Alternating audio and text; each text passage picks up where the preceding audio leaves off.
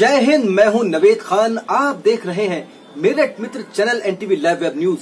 हर खबर पर नज़र, हर छोटी बड़ी खबर जानने के लिए Meerut Mitra channel NTV live web news को सब्सक्राइब कीजिए। बड़ी खबर ललितपुर से। ललितपुर में सोशल मीडिया पर कुछ जगहों से एक झूठा वीडियो वायरल हुआ, जिसमें दिखाया गया कि ललितपुर में कोई बच्चा चोरी करने वाला गैंग सक्रिय है। ललितपुर पुलिस ने फ़ौरन इसकी पड़ताल और जाँच की और पाया कि सोशल मीडिया पर चल रहा ये वीडियो बिल्कुल गलत है और झूठा है। एसपी ललितपुर, कैप्टन मिर्ज़ा मंजर बेग ने जनता से कहा कि ललितपुर पुलिस हमेशा जनता की सुरक्षा के लिए तैयार है और ललितपुर में कोई बच्चा चुराने वाला गैंग नहीं है।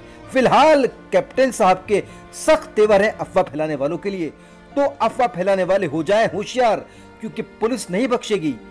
Meerut Mitra channel NTV live web news से नवेद खान की रिपोर्ट।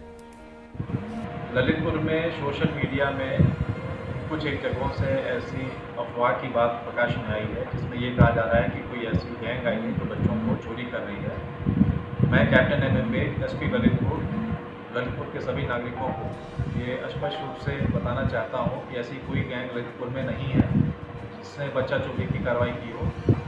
ललितपुर पुलिस आप सबके साथ है। अफवाहों से बचें और इस तरह की अफवाह फैलाने वालों को भी मैं अपनी तरफ़ से सचेत करना चाहूँगा कि इस तरह की अफवाह ना फैलाएँ। अफवाह ना फैला, अफवाह फैलाना एक कानूनी अपराध है और अगर इस तरह की कोई झूठी खबर फैलाएगा तो उसके विरुद्ध भी कार्रवाई की जाएगी। सभी नागरिकों से अनुरोध है कि वो निश्चिंत होकर रहें।